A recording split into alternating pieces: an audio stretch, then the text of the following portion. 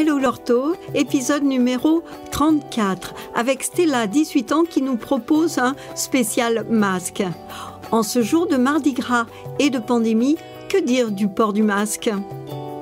Welcome et bonjour à tous. Je suis Lorto, coach en dynamique familiale, orthophoniste, fondatrice de la thérapie et je partage ici mes 40 années d'expérience professionnelle. Enfants, famille, mode d'emploi pour vivre sereinement.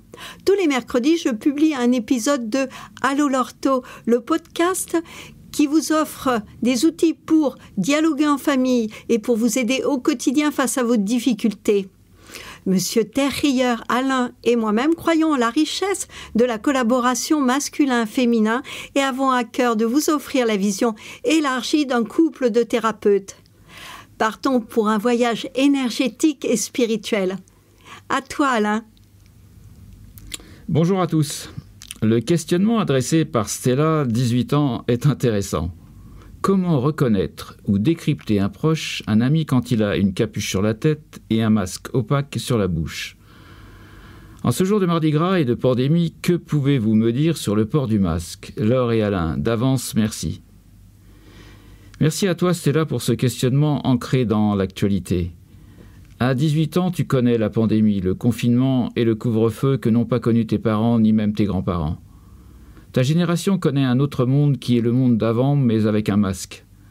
Les conditions sanitaires imposent le port d'un masque devant la bouche et le nez pour éviter la contagion virale.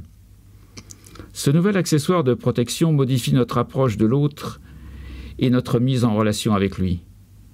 Questionnons-nous alors, le masque chirurgical est-il une simple nécessité de protection virale ou une contrainte parce qu'il nous éloigne physiquement de l'autre et nous prive de son sourire? C'est là nous commençons à voir les peurs et les pensées contradictoires qu'entraîne le port d'un masque. Qu'éprouvons-nous? Liberté ou enfermement? Stella, la capuche, le masque, les lunettes, accessoires essentiellement visuels liés à l'apparence, ne pourront pas vous couper de la connexion avec vos proches, vos amis. Heureusement, les aveugles ont des proches et des amis. Ils entendent et sentent leur présence. Et vous vous demandez comment reconnaître un ami? Mais Stella, vous savez déjà identifier sa stature, sa démarche, ses gestes et sa voix derrière le masque. Comme nous sommes tous, aujourd'hui, d'humeur espiègle, alors jouons, vous et nous, à cache-cache avec le masque pour ce numéro spécial. L'opacité d'un masque cache une partie importante des mimiques du visage et de la personne face à nous. Seuls les sourcils et les yeux sont accessibles à notre regard. Et nous voilà privés de l'expressivité de la sphère buccale. L'attractivité de la bouche nous informe-t-elle facilement sur notre interlocuteur? Est-ce à croire que la bouche révèle davantage d'informations que les mots qui en sortent? Avant de retrouver les mines boudeuses ou souriantes et les visages ouverts, nous pouvons saisir la formidable opportunité d'apprendre à reconnaître les mimiques des sourcils et des yeux et à décrypter le regard. Pourrons-nous lire dans le regard de notre interlocuteur de la joie, de la tristesse, de l'amour, de la colère ou encore de la peur? Que nous dit le reflet des yeux? Les personnes ajoutant le port des lunettes de soleil à celui du masque trouveront-elles un avantage à cet incognito? Et nous, Stella, voulons-nous être reconnus Trouvons-nous un avantage à être masqués? Stella, j'adore écouter les enfants. Hier, un petit Maël de 4 ans m'a dit Le masque, c'est rigolo. Je peux tirer la langue sans me faire gronder. Je voudrais bien aller à l'école avec un gris masque. Un gris masque. Bravo Maël pour ce si joli mot que tu viens de trouver. Stella, vous et moi, que cachons-nous derrière un masque? Et si le masque était l'inverse d'une contrainte? Alors parlons de fête et de liberté. Le masque a-t-il le généreux pouvoir de libérer des conventions sociales? Et oui, le loup s'entoure de mystère à Venise. À une certaine époque où les conventions régies par la bonne société étaient sévères et très rigides, le carnaval à Venise était libératoire. Ne pas être reconnu présentait l'avantage de faire fi des conventions habituelles et de profiter d'une grande liberté. À notre époque, Le carnaval offre la possibilité de se travestir, de porter masque et costume pour jouer à être un autre et de se régaler d'un moment festif. Ainsi, Stella Rio, il permet de sortir de sa condition sociale et de vivre un temps de fête endiablé. Le costume est confectionné pendant une année entière et représente au quotidien la promesse d'un jour de grande fierté. Le jour venu, à l'image de Cendrillon qui devient princesse et dont la citrouille se transforme en carrosse, les danseurs revêtissent leurs costumes, deviennent aussi flamboyants que leurs atours et vivent leur rêve de grandeur dans l'admiration des yeux du monde entier. En ce jour de Mardi Gras 2021, nous ne pouvons pas bénéficier de ce moment festif de carnaval, mais nous portons, Stella, vous et moi, le masque. Est-il seulement chirurgical? Existe-t-il un masque autre que sanitaire, un masque sociétal? Voulez-vous, Stella, que nous parlions du jeu de rôle et de leurs différents masques? Quel intérêt avons-nous, vous et moi, à avancer masqué À l'heure de la médiatisation, soigner son image est nécessaire pour un personnage public ou pour une célébrité. Et nous, Stella, qui batifolons sur les réseaux sociaux, rêvons-nous de célébrité en postant les photos sur Instagram de notre plus jolie image, nos tatouages ou notre parfaite réalisation de la tarte au citron, est-ce que nous croyons au pouvoir de l'image pour nous-mêmes? Nous avons pris l'habitude de jouer un rôle en société et même également en famille. Stella, comment vous voient vos amis, vos copines? Comme un bout en train ou une râleuse? Ou encore comme une bosseuse? Votre famille a-t-elle l'image de celle qui réussit, de la sœur, de la nièce parfaite ou à l'inverse l'image du boulet de la feignante. Notre mental a-t-il fabriqué une image que notre ego a validée? Avons-nous conscience de ce beau ou affreux masque que nous portons?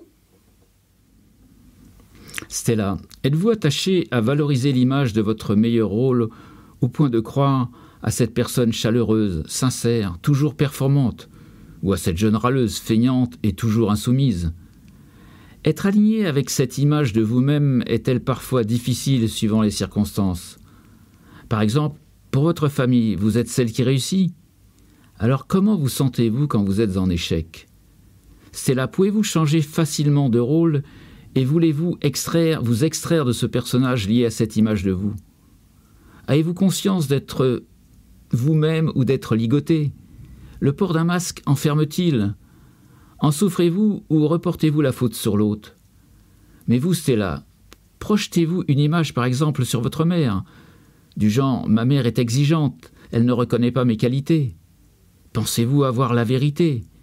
Et si votre mère était la plus fun des mamans? Il suffit peut-être de la regarder autrement, comme une personne que vous ne connaissez pas et que vous voulez découvrir. Si vous sélectionnez le critère fun, vous allez le voir apparaître. Et si nous avions plus à gagner à laisser tomber le masque et à être vrai dans nos relations amicales, amoureuses ou familiales? Peux-tu, Stella, montrer ta vulnérabilité ou est-ce insupportable? Peut-être que toi et moi, nous souffrons d'une blessure invisible et que nous portons un masque pour nous en protéger.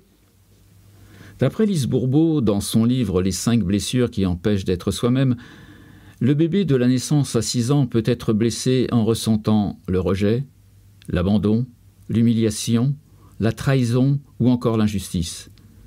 L'auteur de ce livre retrace ces cinq blessures d'enfance et les masques de protection qui s'y rattachent.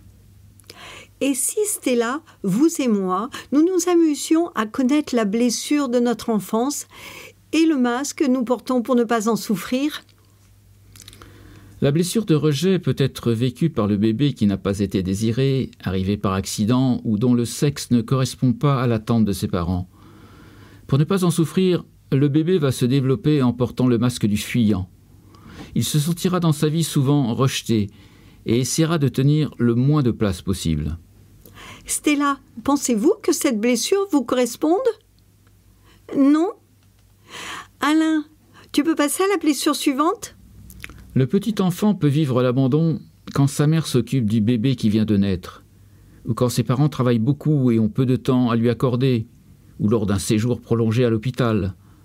Le masque pour se protéger de la blessure d'abandon est celui du dépendant.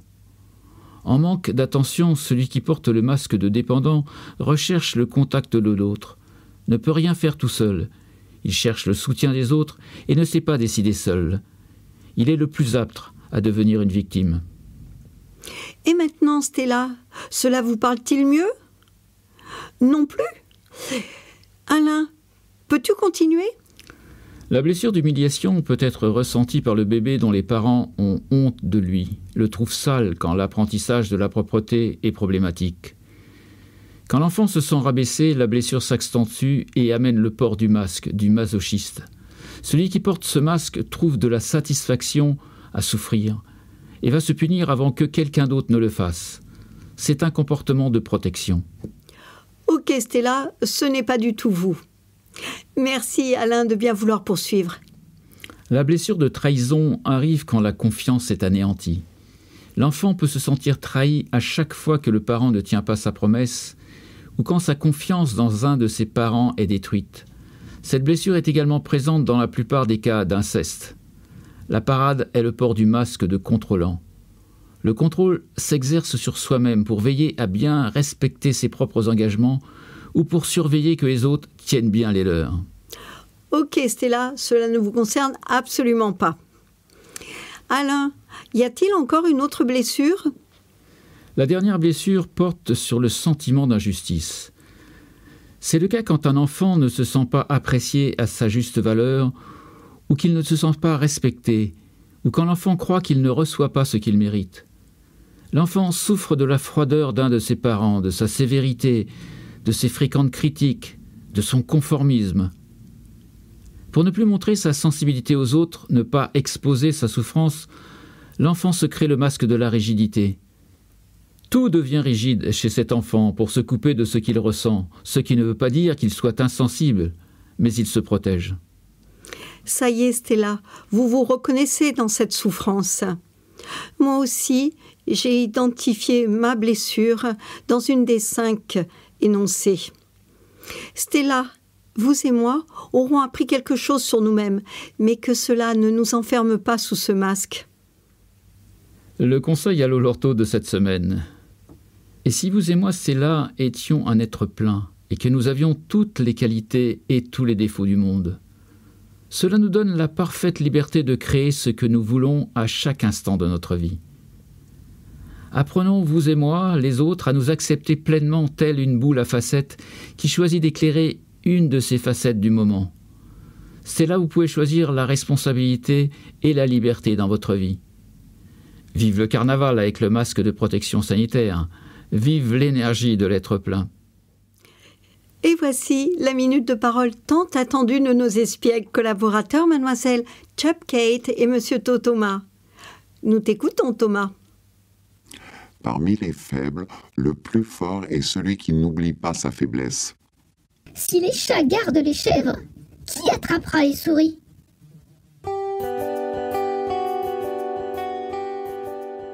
Ce podcast est fait pour vous. Il vous a plu? Alors écoutez Allo Lorto tous les mercredis. Confiez-moi toutes vos interrogations sur mon compte Instagram Allo Lorto. Écrivez Allo A 2 L O Lor L A U R E T-H-A-U-T.